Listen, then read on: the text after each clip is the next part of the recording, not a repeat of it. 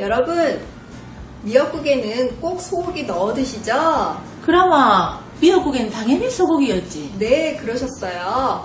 오늘은 쇠고기 없이 미역만으로도 맛있게 끓이는 방법을 알려드릴게요.